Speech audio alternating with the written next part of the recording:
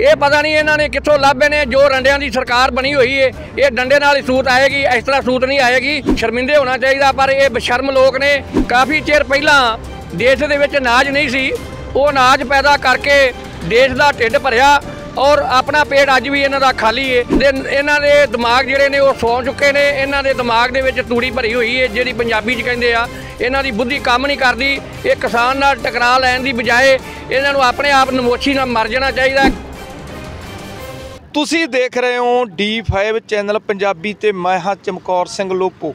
ਦਰਸ਼ਕੋ, ਤੁਹਾਨੂੰ ਪਤਾ ਹੈ ਕਿ ਅਸੀਂ ਜਿਵੇਂ ਪੰਜਾਬ ਦੇ ਵਿੱਚੋਂ ਕਿਸਾਨ ਚੱਲੇ ਸੀ, ਦਿੱਲੀ ਨੂੰ ਕੂਚ ਕੀਤਾ, ਕਿਸਾਨਾਂ ਦੇ ਨਾਲ ਆ ਰਹੇ ਆ ਪਹਿਲਾਂ ਜਦੋਂ ਤੋਂ ਲੈ ਕੇ ਰਾਹ 'ਚ ਬੈਰੀਗੇਟ ਲਾਏ ਜਾਂਦੇ ਨੇ, ਟੋਹੇ ਪੱਟੇ ਜਾਂਦੇ ਨੇ, ਕਿਸਾਨਾਂ ਨੂੰ ਰੋਕਣ ਦੀ ਹਰ ਸ- ਜਾਣੀ ਦੀ ਪੂਰੀ ਕੋਸ਼ਿਸ਼ ਕੀਤੀ ਜਾਂਦੀ। ਪਰ ਇਹ ਉਹ ਪੰਜਾਬੀ ਆ, ਕਹਿੰਦੇ ਜਿਨ੍ਹਾਂ ਨੇ ਕਈ ਵਾਰ ਦਿੱਲੀ ਦੇ ਲਾਲ ਕਿਲੇ ਦੇ ਉੱਤੇ ਝੰਡਾ ਲਹਿਰਾ ਦਿੱਤਾ ਸੀ ਔਰ ਉੱਥੋਂ ਤੱਕ ਰਾਜ ਰਿਹਾ ਜਿੱਥੋਂ ਤੱਕ ਹੁਣ ਦੀਆਂ ਸਰਕਾਰਾਂ ਸੁਪਨੇ ਵਿੱਚ ਵੀ ਨਹੀਂ ਸੋਚ ਸਕਦੀਆਂ। ਸਾਡੇ ਨਾਲ ਬਜ਼ੁਰਗ ਆਗੂ ਨੇ, ਆਪਾਂ ਉਹਨਾਂ ਨੂੰ ਪੁੱਛਾਂਗੇ, ਕਿਉਂਕਿ ਵੱਡੀ ਗੱਲ ਇਹ ਆ, ਜਿਹੜੇ ਬਾਬੇ ਬੋੜ ਨੇ, ਜਿਨ੍ਹਾਂ ਨੇ ਕਿਸਾਨੀ ਲਈ ਲੜਾਈਆਂ ਲੜੀਆਂ, ਜੇ ਉਹ ਖੜੇ ਨੇ ਨਾ, ਨਾਲ ਨੌਜਵਾਨ ਟਹਿਣੀਆਂ ਪੱਤੇ ਵੀ ਖੜੇ ਨੇ। ਜੇ ਬੋੜ ਨਰਵਾ ਹੋਵੇ ਤੇ ਟਹਿਣੀਆਂ ਪੱਤੇ ਨਾ ਰਹਿੰਦੀਆਂ ਨੇ ਉਹਨੂੰ ਝਾੜ ਨਹੀਂ ਸਕਦੀ ਕਿੱਡੀ ਤੇਜ਼ ਹਨੇਰੀ ਵਗ ਜਾਵੇ। ਸੋ ਆਪਾਂ ਉਹਨਾਂ ਨਾਲ ਗੱਲਬਾਤ ਕਰਦੇ ਆਂ ਬਾਪੂ ਜੀ ਕੀ ਨਾਂ ਹੈ ਆਪਣਾ? ਮੇਰਾ ਨਾਮ ਹੈ ਜੀ ਤਹਿ ਤੋਤਾ ਸਿੰਘ ਪਿੰਡ ਬ੍ਰਾਹਮ ਕੇ ਜ਼ਿਲ੍ਹਾ ਮੋਗਾ ਦੇ ਰਹਿਣ ਵਾਲੇ ਹਾਂ ਜੀ ਅਸੀਂ। ਅੱਛਾ ਬਾਪੂ ਕਿੱਥੋਂ ਤੁਸੀਂ ਤੁਰੇ ਸੀ? ਤਕਰੀਬਨ ਤੁਸੀਂ ਦਿੱਲੀ ਦੇ ਨੇੜੇ ਆ ਗਏ ਆ। ਦਿੱਲੀ ਫਤਿਹ ਕਰਨ ਚੱਲੇ ਆ। ਰਾਹ ਦੇ ਵਿੱਚ ਕਿੰਨੀਆਂ ਕੁ ਦਿੱਕਤਾਂ ਆਈਆਂ? ਪਹਿਲਾਂ ਉਹਦੇ ਬਾਰੇ ਦੱਸੋ। ਅਸੀਂ ਜੀ ਆਪਣੇ ਮੋਗਾ ਡਿਸਟ੍ਰਿਕਟ ਤੋਂ ਚੁਰੇ ਸੀ, ਬਲਾਕ ਕੋਟ ਈਸੇ ਖਾਂ ਤੋਂ, ਬਲਵੰਤ ਸਿੰਘ ਦੀ ਰਹਿਨਮਾਈ ਥੱਲੇ।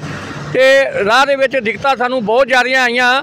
ਜਦੋਂ ਅਸੀਂ ਸੰਗਤਪੁਰਾ ਬਾਰਡਰ ਨਿਕਲੇ, ਤਾਂ ਉੱਥੇ ਬਹੁਤ ਭਾਰੀ ਫੋਰਸ ਨੇ, ਅੱਗੇ ਤਾਰ ਲਾਈ ਹੋਈ ਸੀ ਔਰ ਬਹੁਤ ਕਾਫੀ ਡਾਂਗਾ ਲੈ ਕੇ ਖੜੇ ਸਨ। ਤੇ ਜਦ ਉਹਨਾਂ ਦੇ ਨਾਲ ਗੱਲਬਾਤ ਕੀਤੀ, ਉਹ ਆਪਣੀ ਗੱਲਬਾਤ ਦੇ ਜਿੱਦ ਕਰਦੇ ਰਹੇ। ਤੇ ਉੱਥੇ ਫਿਰ ਨੌਜਵਾਨ ਕਿਸਾਨਾਂ ਨੇ ਤੇ ਕੀ ਕੀਤਾ ਵੀ ਆਪਣਾ ਜਿਵੇਂ ਵੀ ਸੀ, ਉਹਨਾਂ ਦੇ ਕੋਲ ਆਪਣੇ ਪਲਾਸ ਸਨ। ਉਹਨਾਂ ਨੇ ਪਲਾਸ ਨਾਲ ਤਾਰਾਂ ਕੱਟ ਕੇ ਅੱਗੇ ਵਧਣ ਦੀ ਕੋਸ਼ਿਸ਼ ਕੀਤੀ। ਬਾਕੀ ਨਾਲ ਇੱਕ ਉੱਥੋਂ ਦੇ ਸਰਪੰਚ ਸੰਗਤਪੁਰੇ ਦੀ ਖੇਤ ਸੀਗਾ, ਉਹਦੇ ਵਿੱਚੋਂ ਦੀ ਟਰੈਕਟਰ ਟਰਾਲੀਆਂ ਕੱਢਦੇ ਹੋਏ ਕਿਸਾਨ ਤੇ ਆਪਣੀਆਂ ਬੱਸਾਂ ਤੇ ਟਰੱਕ ਜਿਹੜੇ ਸੀ ਉਹਨਾਂ ਨੇ ਉਹ ਬੈਰੀਅਲ ਤੋੜ ਕੇ ਉੱਥੋਂ ਦੀ ਅੱਗੇ ਸੰਗਤਪੁਰੇ ਤੋਂ ਹਰਿਆਣੇ ਦੇ ਵਿੱਚ ਦਾਖਲ ਹੋਏ। ਜਦ ਦਾਖਲ ਹੋਏ ਤੇ ਅੱਗੇ ਫਿਰ ਉਹ ਥਾਂ ਥਾਂ ਤੇ ਉਹਨਾਂ ਨੇ ਬੈਰੀਗੇਡ ਲਾਏ ਹੋਏ ਸਨ, ਜਿੱਥੇ ਕਿ ਮੇਰਾ ਖਿਆਲ ਹੈ ਕੱਲ ਕੱਲ ਅਸੀਂ 6 ਬੈਰੀਗੇਡ ਤੋੜ ਕੇ ਜਿਹੜੇ ਆ ਉਹਨਾਂ ਦੇ ਅੱਗੇ ਨਿਕਲੇ ਆ। ਪੁਲਿਸ ਨੂੰ ਜੱਫੇ 'ਚ ਲੈ ਲੈਂਦੇ ਸੀ, ਨੌਜਵਾਨ ਖਿੱਚ ਖਿੱਚ ਕੇ ਪਾਸੇ ਕਰਕੇ ਆਪਣੀਆਂ ਹੱਥ ਨਾਲ ਹੱਥ ਫੜ ਕੇ ਗੱਡੀਆਂ ਨੂੰ ਅੱਗੇ ਕਰਦੇ ਰਹੇ ਆ। ਇਸ ਤਰੀਕੇ ਨਾਲ ਅਸੀਂ ਜਿਹੜਾ ਨਿਕਲੇ ਆ, ਨੌਜਵਾਨਾਂ ਨੇ ਬਹੁਤ ਜ਼ਿਆਦਾ ਸਾਥ ਦਿੱਤਾ ਜਿਹੜਾ ਕਿ ਪੁਲਿਸ ਨੂੰ ਪਿੱਛੇ ਕਰ ਕਰਕੇ ਧਕੇਲ ਧਕੇਲ ਕੇ ਪੁਲਿਸ ਨੂੰ ਅੱਗੇ ਲੈ ਕੇ ਆਂਦਾ ਹੈ। ਕਿਉਂ ਇਹ ਨਡਰ ਕੌਮ ਹੈ, ਪੰਜਾਬੀ, ਇਹ ਕਿਸੇ ਤੋਂ ਡਰਦੇ ਨਹੀਂ।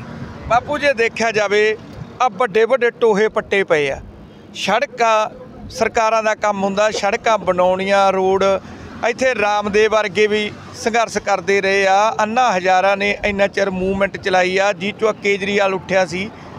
ਅੱਜ ਕਿਸਾਨਾਂ ਤੋਂ ਇਹਨਾਂ ਨੂੰ ਕਿੰਨਾ ਕੁ ਖਤਰਾ ਹੋ ਗਿਆ? ਕਿਸਾਨ ਕਿਹੜਾ ਕੋਈ ਹਥਿਆਰ ਚੱਕੀ ਫਿਰਦੇ ਆ ਸਾਤਮਈ ਧਰਨਾ ਦੇਣ। ਇਹਨਾਂ ਮੂਹਰੇ ਕਿਉਂ ਟੋਏ ਪੱਟੇ ਜਾ ਰਹੇ?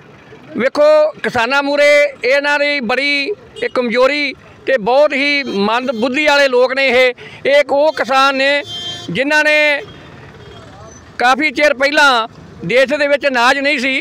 ਉਹ ਅਨਾਜ ਪੈਦਾ ਕਰਕੇ ਦੇਸ਼ ਦਾ ਢਿੱਡ ਭਰਿਆ ਔਰ ਆਪਣਾ ਪੇਟ ਅੱਜ ਵੀ ਇਹਨਾਂ ਦਾ ਖਾਲੀ ਏ, ਕਿਉਂਕਿ ਆਪਦੇ ਬਾਲੀ ਬੱਚੇ ਨੂੰ ਚੰਗੀ ਵਿਦਿਆ ਜਾਂ ਪੜ੍ਹਾਈ ਨਹੀਂ ਕਰਵਾ ਸਕਦੇ। ਪਿੰਡਾਂ ਦੇ ਵਿੱਚ ਇਹੋ ਜੀ ਜਿਹੜੀ ਅੱਜ ਵੀ ਸਥਿਤੀ ਬਣੀ ਹੋਈ ਏ। ਪਰ ਪੂਰੇ ਦੇਸ਼ ਦਾ ਪੇਟ ਭਰਨ ਵਾਲੇ ਜਿਹੜੇ ਕਿ ਅਮਰੀਕਾ, ਕੈਨੇਡਾ ਤੋਂ ਲਾਲ ਰੰਗ ਦੀ ਕਣਕ ਮੰਗਾਉਂਦੇ ਸਨ, ਅੱਜ ਉਹ ਪੂਰੇ ਕਿਸਾਨ ਨੇ ਜਿਹੜੇ ਨੇ 80% ਜਿਹੜਾ ਅਨਾਜ ਜਿਹੜਾ ਪੂਲ ਦੇ ਵਿੱਚ ਦਿੱਤਾ ਔਰ 70 80% ਹੀ ਪੰਜਾਬੀਆਂ ਨੇ ਕੁਰਬਾਨੀਆਂ ਕੀਤੀਆਂ। ਇਹਨਾਂ ਦੇ ਇਹਨਾਂ ਦੇ ਦਿਮਾਗ ਜਿਹੜੇ ਨੇ ਉਹ ਸੌਂ ਚੁੱਕੇ ਨੇ, ਇਹਨਾਂ ਦੇ ਦਿਮਾਗ ਦੇ ਵਿੱਚ ਤੂੜੀ ਭਰੀ ਹੋਈ ਹੈ ਜਿਹੜੀ ਪੰਜਾਬੀ 'ਚ ਕਹਿੰਦੇ ਆ, ਇਹਨਾਂ ਦੀ ਬੁੱਧੀ ਕੰਮ ਨਹੀਂ ਕਰਦੀ, ਇਹ ਕਿਸਾਨ ਨਾਲ ਟਕਰਾ ਲੈਣ ਦੀ ਬਜਾਏ ਇਹਨਾਂ ਨੂੰ ਆਪਣੇ ਆਪ ਨਮੋਸ਼ੀ ਨਾਲ ਮਰ ਜਾਣਾ ਚਾਹੀਦਾ, ਕਿਸਾਨ ਇੱਕ ਇੱਕ ਜਿਹੜੀ ਉਹ ਰੀੜ ਦੀ ਹੱਡੀ ਏ। ਸੋ ਇਹਨਾਂ ਨੂੰ ਬਹੁਤ ਸ਼ਰਮਿੰਦੇ ਹੋਣਾ ਚਾਹੀਦਾ, ਪਰ ਇਹ ਬਸ਼ਰਮ ਲੋਕ ਨੇ, ਇਹ ਉਹ ਲੋਕ ਨੇ ਪੱਤਰਕਾਰ ਸਾਹਿਬ, ਜਿਹੜੇ ਲੋਕਾਂ ਨੇ ਪਾਣੀਪਤ ਦੀ ਲੜਾਈ 'ਚ ਬਹੁ ਬੇਟੀਆਂ ਲੈ ਜਾਂਦੇ ਸਨ ਤੇ ਇਹਨਾਂ ਦੀਆਂ ਟਕੇ ਟਕੇ ਨੂੰ ਲਿਜਾ ਕੇ ਵੇਚਦੇ ਸਨ। ਉਸ ਟਾਈਮ ਤੇ ਸਾਡੇ ਪੰਜਾਬੀਆਂ ਨੇ ਫਰਾਕ ਦਿਲੀ ਵਿਖਾਉਂਦੇ ਹੋਇਆਂ, ਆਪਣੀ ਜਾਨ ਤਲੀ ਤੇ ਰੱਖਦੇ ਹੋਇਆਂ, ਇਹ ਕਹਿੰਦੇ ਸੀ, ਅੱਜ ਵੀ ਲੋਕਾਂ ਨੂੰ ਪਤਾ ਨਹੀਂ, ਕਹਿੰਦੇ 12 ਵੱਜ ਗਏ ਆ 12 ਵਜੇ ਦਾ ਮਹੱਤਵ ਇਹ ਹੁੰਦਾ ਸੀ, ਜਿਹੜੇ ਪੰਜਾਬੀ ਸੀ, ਸਿੰਘ ਸੂਰਮੇ ਸਨ, ਉਹ ਰਾਤ ਦੇ 12 ਵਜੇ ਸੁੱਤੇ ਪਏ ਮੁਗਲਾਂ ਤੇ ਹਮਲਾ ਕਰਕੇ ਤੇ ਬਹੁ ਬੇਟੀਆਂ ਲੈ ਆਉਂਦੇ ਸੀ ਤੇ ਇਹਨਾਂ ਦੇ ਘਰਾਂ ਦੇ ਵਿੱਚ ਪਹੁੰਚਾਉਂਦੇ ਸੀ। ਅੱਜ ਜਿਨ੍ਹਾਂ ਲੋਕਾਂ ਦੀ ਅਸੀਂ ਇੱਜ਼ਤ ਰੱਖੀ ਏ ਉਹ ਸਾਡੀ ਜਿਹੜੀ ਕਿਸਾਨਾਂ ਦੀ ਇੱਜ਼ਤ ਰੋਲਣ ਨੂੰ ਫਿਰਦੇ ਨੇ, ਇਹ ਬਿਲਕੁਲ ਹਰਗਜ਼ ਬਰਦਾਸ਼ਤ ਨਹੀਂ ਹੋਵੇਗਾ, ਨਾ ਹੀ ਕਿਸਾਨ ਪਿੱਛੇ ਹਟਣਗੇ। ਜੇ ਦੇਖਿਆ ਜਾਵੇ ਬਾਪੂ, ਸਾਰੇ ਇੱਕੋ ਜਿਹੇ ਨਹੀਂ ਕਈ ਹਿੰਦੂ ਵੀਰ ਆ ਜਿਨ੍ਹਾਂ ਨੇ ਰਸਤੇ 'ਚ ਰੋਕ ਕੇ ਚਾਹ ਵੀ ਪਿਆਈ ਆ, ਮਾਣ ਸਨਮਾਨ ਵੀ ਕੀਤਾ ਵੀ ਅਸੀਂ ਕਿਸਾਨਾਂ ਦੇ ਨਾਲ ਆ। ਇਹ ਜਿਹੜਾ ਮੋਦੀ ਆ, ਇਹ ਕਹਿੰਦੇ ਇਹਦੇ ਬਾਲ ਬੱਚਾ ਵੀ ਹੈ ਨਹੀਂ, ਕਹਿੰਦੇ ਇਹਨੂੰ ਕਬੀਲਦਾਰੀ ਬਾਰੇ ਪਤਾ ਨਹੀਂ। ਤੁਸੀਂ ਕਿਵੇਂ ਦੇਖਦੇ ਹੋ? ਕਹਿੰਦੇ ਤਾਂ ਕਿਸਾਨਾਂ ਤੇ ਪਰਿਵਾਰ ਵਾਲੇ ਲੋਕਾਂ ਤੇ ਜ਼ੁਲਮ ਢਾ ਰਿਹਾ। ਹਾਂਜੀ, ਇਹ ਬਿਲਕੁਲ ਠੀਕ ਹੈ। ਜਿਹੜੀ ਇੱਕ ਔਰਤ ਹੁੰਦੀ ਹੈ ਉਹ ਆਦਮੀ ਦਾ ਗਵਰਨਰ ਹੁੰਦੀ ਹੈ ਔਰਤ ਹਮੇਸ਼ਾ ਹੀ ਬੰਦੇ ਨੂੰ ਸਾਥ ਦਿੰਦੀ ਹੈ ਔਰਤ ਨਾਲ ਹੀ ਬੰਦਾ ਪਰਿਵਾਰ ਅੱਗੇ ਵੱਧਦਾ ਕਿਉਂ? ਇੱਕ ਪਰਿਵਾਰ ਦੇ ਵਿੱਚ ਜਿਹੜੀ ਔਰਤ ਦਾ ਹੋਣਾ ਜ਼ਰੂਰੀ ਹੈ ਜਿਸ ਬੰਦੇ ਦਾ ਆਪਣਾ ਧੀ ਪੁੱਤ ਨਹੀਂ ਉਹ ਛੜਾ ਛਾਂਟ ਜਾਂ ਰੰਡਾ ਬੰਦਾ ਜਿਵੇਂ ਯੂਪੀ ਦੇ ਵਿੱਚ ਯੋਗੀ ਏ ਇੱਥੇ ਖੱਟਰ ਏ ਇਹਨਾਂ ਨੂੰ ਇਹਨਾਂ ਨੂੰ ਪਰਿਵਾਰਾਂ ਬਾਰੇ ਪਤਾ ਨਹੀਂ ਪਰਿਵਾਰ ਦਾ ਸਾਰੇ ਸਾਰੇ ਇੱਕੋ ਜਿਹੇ ਕਿੱਥੋਂ ਇਕੱਠੇ ਕੀਤੇ ਆ? ਇਹ ਪਤਾ ਨਹੀਂ ਇਹਨਾਂ ਨੇ ਕਿੱਥੋਂ ਲੱਭੇ ਨੇ ਜੋ ਰੰਡਿਆਂ ਦੀ ਸਰਕਾਰ ਬਣੀ ਹੋਈ ਏ ਇਹ ਡੰਡੇ ਨਾਲ ਹੀ ਸੂਤ ਆਏਗੀ ਇਸ ਤਰ੍ਹਾਂ ਸੂਤ ਨਹੀਂ ਆਏਗੀ। ਇਹ ਪੋਲੇ ਪੈਰੀ ਸੂਤ ਆਉਣ ਵਾਲੀ ਨਹੀਂ ਹੈਗੀ ਪਰ ਸਾਨੂੰ ਲਗਾਮ ਦਿੱਤੀ ਹੋਈ ਏ ਸਾਡੇ ਨੇਤਾ ਲੜਕਾ ਨੇ ਉਹ ਕਹਿੰਦੇ ਆ ਵੀ ਨਹੀਂ ਆਪਾਂ ਸ਼ਾਂਤਮਈ ਧਰਨਾ ਰੱਖਣਾ ਹੈ। ਨਹੀਂ ਤਾਂ ਇਹੋ ਜੀ ਕੋਈ ਗੱਲ ਨਹੀਂ ਹੈਗੀ ਪੰਜਾਬੀ ਜਿਹੜੇ ਨੇ ਉਹ ਬੜੇ ਯੋਧੇ ਨੇ ਔਰ ਰੁੱਖੀ ਮਿੱਸੀ ਰੋਟੀ ਖਾ ਕੇ ਵੀ ਉਹ ਗੁਜ਼ਾਰਾ ਕਰਦੇ, ਭੁੱਖੇ ਰਹਿ ਕੇ ਵੀ ਉਹ ਲੜਾਈ ਲੜਨ ਨੂੰ ਤਿਆਰ ਨੇ। ਪਰ ਨਹੀਂ, ਇਸ ਵਕਤ ਰਾਸ਼ਨ ਸਾਡੇ ਕੋਲ 6-6 ਮਹੀਨੇ ਦਾ ਟਰਾਲੀਆਂ ਦੇ ਵਿੱਚ ਲੋਡ ਕੀਤਾ ਹੋਇਆ ਹੈ। ਕਈ ਭਰਾ ਸਾਡੇ, ਜਿਵੇਂ ਜਸਵਿੰਦਰ ਸਿੰਘ ਈਟੀਟੀ ਵਾਲੇ ਨੇ, ਉਹ ਕੈਨੇਡਾ ਤੋਂ ਸਪੈਸ਼ਲ ਆਏ ਨੇ। ਅੱਜ ਬੜਾ ਭੱਜ ਕੇ ਦੌੜ ਕੇ ਉਹ ਆਪਣੀ ਬੱਸ ਦੇ ਵਿੱਚ ਹਾਜ਼ਰ ਹੋਏ ਨੇ। ਸਾਡੇ ਕੋਲ ਬਾਹਰੋਂ ਵੀ ਆਣ ਕੇ ਸੰਯੋਗ ਜਿਹੜੇ ਸੱਜਣ ਨੇ, ਉਹ ਦੇ ਰਹੇ ਨੇ। ਜਸਵਿੰਦਰ ਸਿੰਘ ਤਾਂ ਤੁਹਾਡੇ ਹਲਕੇ ਦੇ ਵਿੱਚੋਂ ਚੋਣ ਲੜਦਾ ਤੇ ਤੁਹਾਡੇ ਨਾਲ ਬੱਸ 'ਚ ਬਹਿ ਗਿਆ। ਜਿਹੜੇ ਉੱਥੇ ਜਿਵੇਂ ਜਥੇਦਾਰ ਤੋਤਾ ਸਿੰਘ ਆ, ਉਹ ਵੀ ਚੋਣ ਲੜਦਾ ਇੱਕ ਕਾਕਾ ਏ ਲੋਹਗੜ ਵਾਲਾ, ਉਹ ਵੀ ਉੱਥੋਂ ਜਿੱਤਿਆ ਵਾ ਐਮਐਲਏ ਆ। ਉੱਥੇ ਆ ਜਿਹੜੇ ਝਾੜੂ ਵਾਲੇ ਆ, ਇਹਨਾਂ ਦੇ ਵੀ ਬਹੁਤ ਉੱਥੇ ਫੌਜ ਫਿਰਦੀ ਆ। ਇਹ ਫੌਜਾਂ ਤੁਹਾਡੇ ਨਾਲ ਆਈਆਂ ਹੈ ਜਿਹੜੇ ਅਕਾਲੀ ਦਲ ਵਾਲੇ, ਕਾਂਗਰਸ ਵਾਲੇ, ਕਿ ਵੋਟਾਂ ਵੇਲੇ ਆਉਂਦੇ ਆ ਵਾ ਨਹੀਂ ਇਸ ਵਕਤ ਜਿਹੜਾ ਮਸਲਾ ਹੈ ਉਹ ਕਿਸਾਨੀ ਦਾ ਅੱਜ ਅੱਜ ਵੋਟਾਂ ਦਾ ਮਸਲਾ ਨਹੀਂ ਰਹਿ ਗਿਆ। ਅੱਜ ਕੱਲਾ ਕਿਸਾਨੀ ਦਾ ਮਸਲਾ ਰਹਿ ਗਿਆ। ਸਾਡੀ ਜਿਹੜੀ ਕਿਸਾਨੀ ਹੈ ਉਹ ਇਸ ਵਕਤ ਲੁੱਟੀ ਜਾ ਰਹੀ ਹੈ ਜੋ ਇਹਨਾਂ ਕਾਣੇ ਕਾਨੂੰਨ ਬਣਾਏ ਨੇ। ਇਹਦੇ ਵਿੱਚ ਨਾ ਕੋਈ ਕਾਲੀ ਨਾ ਕੋਈ ਆਮ ਨਾ ਕੋਈ ਦੂਜੀ ਤੀਜੀ ਕਾਂਗਰਸ ਪਾਰਟੀ ਕੋਈ ਪਾਰਟੀ ਵੀ ਨਹੀਂ ਬਚੇਗੀ। ਚਾਹੇ ਉਹ ਆਪਣਾ ਘਰੇ ਬੈਠੇ ਰਹਿਣ ਜੋ ਕਿਸਾਨ ਇਸ ਵਕਤ ਨਿਊਟਰਲ ਹੋ ਕੇ ਲੜ ਰਿਹਾ ਇਹ ਪਾਰਟੀ ਬਾਜੀ ਤੋਂ ਉੱਪਰ ਉੱਠ ਕੇ ਜਿਹੜਾ ਹੈ ਇਹ ਸੰਘਰਸ਼ ਲੜ ਰਿਹਾ ਨਹੀਂ ਆਉਣਾ ਚਾਹੀਦਾ ਸੀ ਬਾਪੂ ਉਹਨਾਂ ਨੂੰ ਵੀ ਕਿਸਾਨਾਂ ਦੇ ਝੰਡੇ ਬਿਲਕੁਲ ਉਹਨਾਂ ਨੂੰ ਆਉਣਾ ਚਾਹੀਦਾ ਸੀ ਕੋਈ ਗੱਲ ਨਹੀਂ। ਹੌਲੀ ਹੌਲੀ ਆ ਜਿਹੜੇ ਅੱਜ ਟੀਵੀ 'ਚ ਦੇਖ ਰਹੇ ਨੇ ਸਾਨੂੰ ਪਿੱਛੋਂ ਫੋਨ ਆ ਰਹੇ ਨੇ, ਹੌਲੀ ਹੌਲੀ ਲੋਕੀ ਸ਼ਰਮ ਲਾ ਰਹੇ ਨੇ। ਪਹਿਲਾਂ ਲੋਕਾਂ ਨੂੰ ਸ਼ਰਮ ਮਹਿਸੂਸ ਹੁੰਦੀ ਸੀ। ਇਸ ਵਕਤ ਰਸਤਾ ਜਿਹੜਾ ਹੈ, ਉਹ ਅਸੀਂ ਅੱਗੋਂ ਸਾਫ਼ ਕਰ ਦਿੱਤਾ ਹੈ। ਇਸ ਕਰਕੇ ਉਹ ਜਿਹੜੇ ਨੇ, ਉਹ ਵੀ ਆਪਣੇ ਮਨ ਦੇ ਵਿੱਚ ਸੋਚ ਰਹੇ ਨੇ, ਆਪਣੇ ਅੰਦਰ ਝਾਤੀ ਉਹ ਮਾਰ ਰਹੇ ਨੇ ਵੀ ਅਸੀਂ ਘਰ ਬੈਠੇ ਆ ਲੋਕ ਸਾਨੂੰ ਲਾਂਘਤਾ ਪਾਉਣਗੇ ਔਰ ਪਿੰਡਾਂ 'ਚ ਨਿਕਲਾਂਗੇ ਲੋਕ ਸਾਨੂੰ ਕੀ ਕਹਿਣਗੇ। ਸੋ ਉਹ ਵੀ ਪਹੁੰਚਣਗੇ ਕਿਉਂ ਉਹ ਵੀ ਕਿਸਾਨ ਨੇ। ਅਗਰ ਕਿਸਾਨ ਦੇ ਬੱਚੇ ਹੋਣ ਦੇ ਨਾਤੇ ਉਹ ਵੀ ਸ਼ਰਮ ਮਹਿਸੂਸ ਕਰ ਰਹੇ ਨੇ ਵੀ ਸਾਨੂੰ ਕਿਸੇ ਨੇ ਸੱਦਾ ਨਹੀਂ ਦਿੱਤਾ, ਪਰ ਇਹ ਖੁੱਲਾ ਸੱਦਾ ਹੈ ਕਿਸਾਨੀ ਦਾ। ਇੱਥੇ ਕੋਈ ਪਾਰਟੀ ਬਾਜੀ ਦਾ ਕੰਮ ਨਹੀਂ ਹੈਗਾ। ਜੋ 30 ਜਥੇਬੰਦੀਆਂ ਨੇ ਸੰਘਰਸ਼ ਲਿਖਿਆ ਉਹ ਵਧਾਈ ਦੇ ਪਾਤਰ ਨੇ ਅੱਜ ਉਹਨੂੰ ਬੂਰ ਪੈ ਰਿਹਾ। ਆ ਵੇਖੋ ਕਿੰਨਾ ਚਹਿਲ ਪਹਿਲ ਹੋ ਰਹੀ ਹੈ ਉਹਦਾ 30 ਸੀ ਇੱਥੇ 30 ਲੱਖ ਨਾਲ ਲੋਕ ਇਕੱਠੇ ਹੋ ਗਏ ਤਾਂ। ਬਾਪੂ ਆਖਰੀ ਸਵਾਲ ਆ।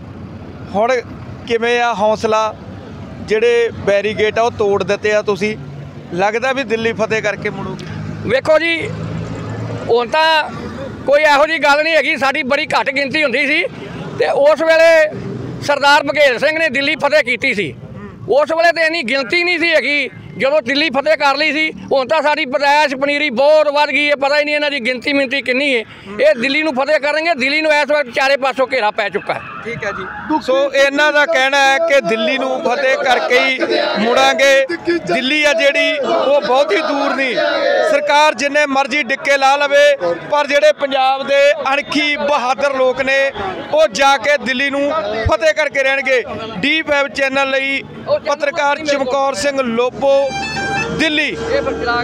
D5 channel Punjabi. ਹੁਣੇ ਸਬਸਕ੍ਰਾਈਬ ਕਰੋ ਬੈਲ ਆਈਕਨ ਤੇ ਕਲਿੱਕ ਕਰੋ।